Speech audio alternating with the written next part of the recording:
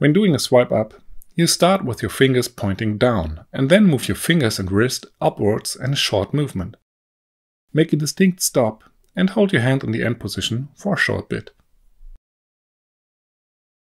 The gesture should not be executed slowly and there's also no need for extensive movements.